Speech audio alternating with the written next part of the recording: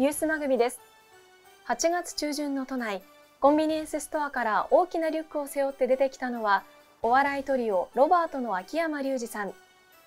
カメラの ISO 感度を最大限に上げて撮らないと夜の暗さに溶け込んでしまうほど黒く日焼けしていたそうです。新型コロナウイルスによる自粛中には仕事も減り日焼けサロンも一時中断していたという秋山さん。このままいくと欲がなくなっていくかもとぼやくこともあったそうです。現在はヒサロ通いを再開。秋山さんの体ものまで早く見たいですね。ニュースマグビ。